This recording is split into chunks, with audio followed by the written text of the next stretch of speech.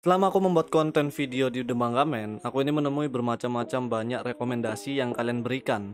Ada beberapa yang udah aku baca, ada juga yang belum. Aku jelasin di sini juga ya. Aku ini emang ngebahas macam-macam manga, tapi bukan berarti aku baca semua manga. Ya kalian tahu sendiri lah di video kemarin, kalau manga itu ada puluhan ribu hingga ratusan ribu. Otaku wibu di Jepang aja nggak segitunya, apalagi aku gitu kan. Jadi maaf aja kalau misalnya ada requestan dari kalian yang nggak aku bahas. Karena kolom komentar membeludak tentang rekomendasi manga, aku lanjutin lagi kali ini. Tapi menurut list manga yang aku baca. Karena ini channel itu kebanyakan bahas manga yang berat-berat, kali ini aku bakal ngerekomendasiin manga harem dan ecchi. Jadi kita refreshing gitulah ya dari genre manga yang berat-berat. Dan rasanya cukup nggak adil juga gitu kalau misalnya aku cuma bahas yang sonen-sonen doang. Kadang mereka yang tertindas dengan genre ecchi ini mereka juga butuh tempat untuk membicarakan kesukaannya. Nggak apa-apa kalian suka genre apa aja aku nggak bakal ngatain kok. Santai aja. Intinya jangan ngelit. Silakan nggak suka tapi jangan saling menyerang. Ingat udah pada gede semua. Oke langsung aja kita masuk ke judul yang pertama yaitu World and Harem. Kayaknya sih kalian udah banyak yang tahu tentang manga yang satu ini karena manga ini sudah mendapat informasi adaptasi anime. Manga World and Harem atau bahasa Jepangnya Sumatsu no Harem dibuat oleh autor bernama Ling dan Souno Kotaro dan dipublish di Shonen Jump Plus pada tahun 2016. Cerita manga ini tuh lumayan unik tapi agak sedikit wadaw. Jadi manga ini tuh menceritakan sebuah dunia yang sudah maju dengan teknologi di abad 21, tepatnya di tahun 2040 di mana kita di sini diperlihatkan seorang main karakter bernama Reito Mizuhara yang dalam ceritanya menjadi seorang mahasiswa kedokteran dan bersama dengan teman masa kecilnya yang bernama Elisa Tachibana. Suatu hari, Reito ini mengungkapkan perasaannya kepada Elisa. Jika Reito selama ini tuh mencintai Elisa. Reito melakukan hal ini karena Reito ini terkena penyakit sklerosis Oh nggak paham jenis penyakit apa ini, aku juga bukan anak kedokteran. Yang intinya Reito ini harus ditidurkan selama lima tahun untuk menyembuhkan penyakitnya. Makanya si Reito ini tuh mengungkapkan perasaannya kepada Elisa untuk perpisahan mereka ke lima tahun mendatang. Dan Elisa mengatakan jika dia akan selalu menunggu Reito bangun. Setelah lima tahun berlalu, Reito pun akhirnya bangkit dari tidurnya, menandakan jika Reito ini berhasil sembuh dari penyakitnya. Tapi Reito ini dikagetkan jika seluruh laki-laki di dunia sudah mati semua. Yang ternyata saat Reito tertidur, dunia terserang sebuah virus yang hanya membunuh laki-laki saja. Sehingga dunia itu tersisa perempuan saja. Jadi manga ini awal konsepnya itu semacam Doctor Stone. Jadi tertidur beberapa tahun kemudian dibangkitkan lagi. Bedanya di sini tuh super harem tapi super ecchi juga gitu. Sebagai laki-laki yang tersisa di dunia, Reito harus melakukan mating dengan banyak perempuan supaya bisa menghasilkan pembuahan dan melahirkan anak, supaya populasi laki-laki di dunia kembali normal. Tapi tenang aja kok, manga ini tuh tidak seringan yang kalian pikir juga. Reito ini berkali-kali menolak untuk mating dengan lawan jenis. Reito hanya berfokus untuk mencari jalan keluar secara medis dan melakukan mating dengan Elisa, yaitu wanita yang dia cintai. Ada juga banyak konflik yang terjadi sehingga terjadi pembentukan dua kubu di manga ini.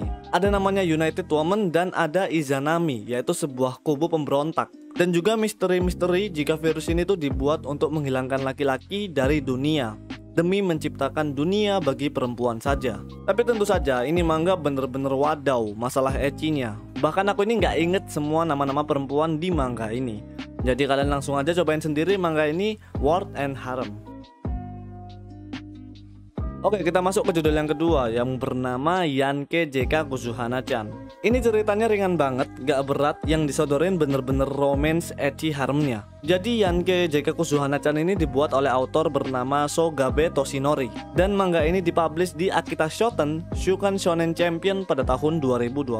Manga ini tuh mengisahkan seorang anak laki-laki bernama Hodaka yang baru saja dipindahkan ke sekolah barunya yang bernama Moteshiro High School. Awalnya sekolahnya itu khusus perempuan, tapi kebijakannya berubah menjadi sekolah laki-laki dan perempuan. Tapi kasihannya di sini si Hodaka menjadi satu-satunya lelaki yang mendaftar di sana. Jadi satu siswa laki-laki dengan 359 perempuan di sekolahnya. Awalnya semuanya ini berpikir akan baik-baik saja, tapi di sana itu tempatnya perempuan-perempuan gal. Di mana perempuan-perempuan gal ini tuh bener-bener berbahaya. Mereka ini manipulatif banget, bisa bertarung, intinya bener-bener wanita yang merepotkan. Dan di sekolah itu terdapat satu perempuan yang ditakuti oleh satu sekolahan, bahkan ditakuti oleh laki-laki di luar sekolahan. Wanita itu bernama Hanako Kuzuryu yang mempunyai julukan 100 Slayer Kuzuhana. Julukan ini berasal karena dia ini pernah mengajar 100 laki-laki berandalan seorang diri. Tapi karena kecerobohan si Hodaka, mulai setiap harinya dia selalu terlibat permasalahan dengan si Hanako. Yang akhirnya membuat Hanako dan Hodaka ini selalu terlihat bersama-sama. Dan mulai detik itulah Hanako sebagai perempuan terkuat mulai luluh dengan lelaki lemah bernama Hodaka. Tapi nggak hanya Hanako doang, banyak perempuan lain yang nantinya mencoba mendekati si Hodaka.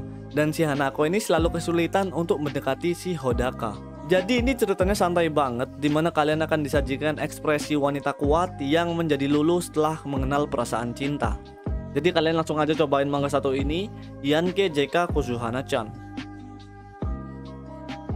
Oke, kita masuk ke judul yang terakhir yaitu berjudul Last Gis. Mungkin tidak terlalu banyak yang tahu manga ini, tapi kalian pasukan Lord Echi pasti tahu manga yang satu ini. Jadi Last Gis ini dibuat oleh author bernama Takahashi Osamu dan dipublish di Young Ace Kadokawa Shoten pada tahun 2018. Jadi Last Gis ini tuh cukup seru ceritanya kalau kalian mau baca sampai habis. Manga ini tuh menceritakan seorang MC bernama Shota yang memiliki teman masa kecil bernama Rika nggak tahu ya di Jepang ini Shota dan Rika ini kayak nama pasaran gitu.